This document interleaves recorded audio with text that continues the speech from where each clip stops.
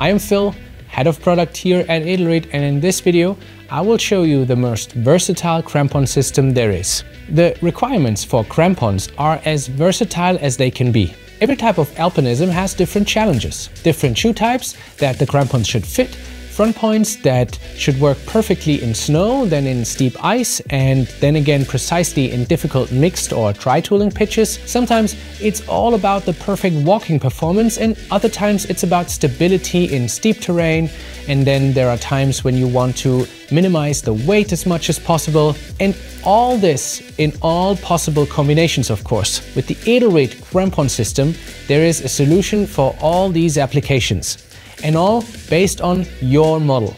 Let me walk you through it. Okay, we will start with separating the binding system and the crampon frame first. All of our binding parts fit on all frame combinations, so we deal with it one after the other. Let's start with the frame parts. As you know, a crampon basically consists of a back part, a front part, and some kind of bridge connecting both parts. We generally have four different models, summing up a specific back and front part pair called Demon, Beast, Shark and Nemo. The Demon is our high-end steep climbing weapon. This was developed specifically with the focus on steep ice, mixed and dry-tooling. Reduced to the bare essentials, it has four different positions for mounting our front teeth.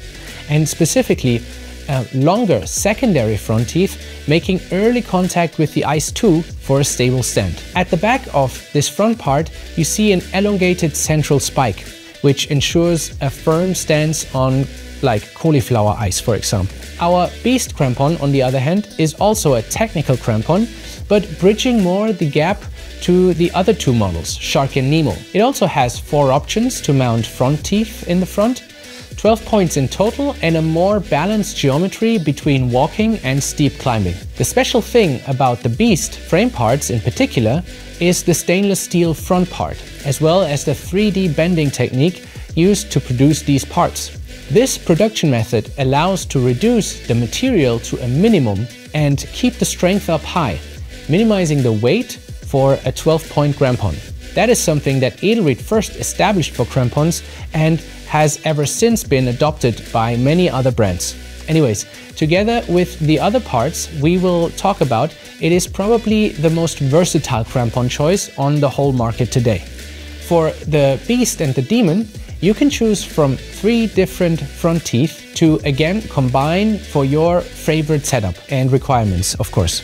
Apart from the classical vertical front point, we also offer a shorter version tooth. The shorter tooth can, for example, be combined with a longer one to make up for a crampon that has a very pronounced monopoint to be very precise in foot placement whenever you are dry tooling or uh, climbing rock sections, but also offers still more stability when getting to the ice parts than when you climb with a single monopoint. Both of these vertical teeth come with our patented grind geometry that minimizes bursting effects in the ice. A little detail that makes such a great difference with our crampons and tools. The third front tooth version that we offer then is a horizontal one, with which you can change your technical crampon set up to a more classical one, whenever, for example, steep, snowy or firn slopes might require this. Next up, we have the Shark front and back parts. The Shark is a classic 12-point crampon, perfect for all-round alpine endeavors. Like the Beast, its parts are 3D bent to minimize weight and with its horizontal front points and overall geometry, it really excels in steep snow and firn slopes, long glacier travels and even easier mixed terrain. And finally, the Nemo frame parts. The idea behind this crampon is initially to provide a perfect entry-level model. But the Nemo should not be underestimated. With the classical 10-point configuration, the Nemo is light, compact, and compensates for the largest covered shoe size range. The sharp horizontal front points are a bit more narrow, making this crampon actually a pretty cool choice even in steeper ice terrain. Alright, so these are the basic frame parts within our crampon range. Now add to this that both heel options are also available in an aluminium version, as is the Beast and Nemo front parts. This means that throwing the aluminium parts into the mix, our crampon range can offer you the lightest technical crampon on the market, consisting of the Beast aluminium front and back part, as well as the lightest overall crampon on the market with the Nemo front and Shark Beast back parts in aluminium. That's pretty awesome, right? But of course, aluminium parts on crampons should only be used when you don't plan to have a lot of rock contact. The parts will not break, but will wear down very quickly. So, but of course, we are not finished with the whole crampon frame. We need a bridge to connect both parts. And for this, we offer three, actually four different options. In general, this is a rigid steel bridge that comes in two sizes, as well as a flexible textile bridge, which comes in two versions, but one after the other. The two-sized rigid bridge that is now made from high-strength stainless spring steel can cover from down to 32, which is probably as low as you can currently find on the market, up to 50, depending on which front and back parts you use. The flexible bridge obviously saves a lot of weight and volume and covers shoe sizes from 34 to 48, again depending on the other parts. And it comes in two slightly different versions. One consists of this little metal part and is the universal version connecting to any front part in our range.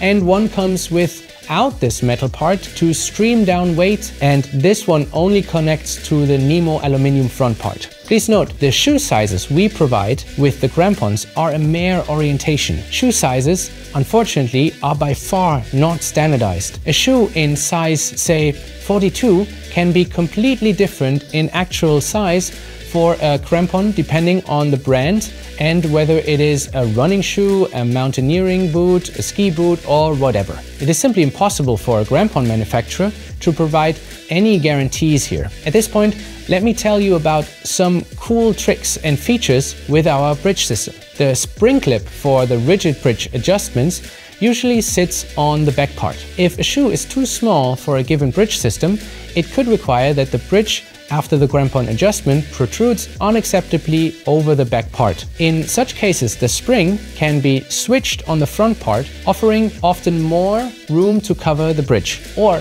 whenever you want to use a crampon with very soft boots, it is possible to thread the rigid bridge in the front in such a way that you generate a flexible joint harmonizing more with your shoe. This is something we specifically recommend, especially when you are on the heavier side. Okay, so far we have seen all of these parts that are all interchangeable, which is already pretty cool. Of course, all of the frame parts have an antibot plate corresponding to them. So let's talk about the binding system now. And this is just as versatile as the frame parts are. There are all kind of different shoe types that require a dedicated binding system. Softer approach shoes and hiking boots, semi-rigid boots, rigid mountaineering boots, ski boots, and so on. What we offer here are two different front parts. A rigid wire front part for such shoes that have a corresponding binding socket and a soft binding part for boots without such a socket. This can then be combined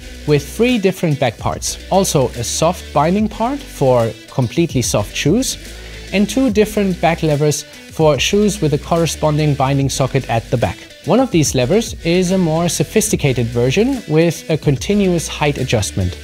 And the other one is a streamlined down to three wire placements version for height adjustment and is supposed to be as minimalistic and light as possible. These parts can be combined with any frame and bridge part setup to cover all possible needs. What is now only missing is the strap system. And again here we offer a light minimalistic version for such setups that use the auto binding parts in the front and in the back, as well as a classic webbing system covering also soft bindings and any hybrid binding setups in between. At this point, it is worth saying a few things about the buckle you can see here because it's pretty clever. It enables quick and uncomplicated adjustment and detachment as well as adjustment. With this buckle, you will not have to unthread the whole binding webbing anytime you you want to get in or out of your crampons. And you will never have problems again with frozen buckles you can't open anymore. So let's take a closer look. You thread in the puller loop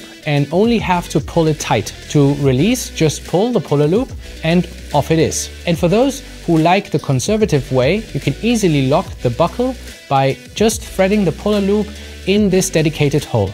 In this case, you have a standard buckle you need to loosen first before you can release it. Alright, so here we go. One big interchangeable system offering you options of more than 600 different crampon combinations. This means any crampon you buy, you can infinitely extend to fit other needs and support you as you progress as a climber, repair broken parts, or starting with our kids crampon and extend it as the little ones grow in size and in their abilities.